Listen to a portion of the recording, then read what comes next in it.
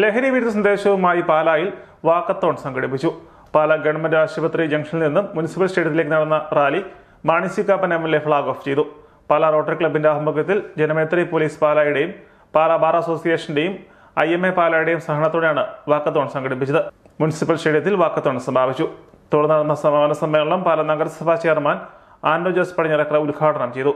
Rotary club president George Valiyaveettil bar association president advocate Joshi Abraham I M A president doctor Jose Kokkattu എന്നിവർ സംസാരിച്ചു.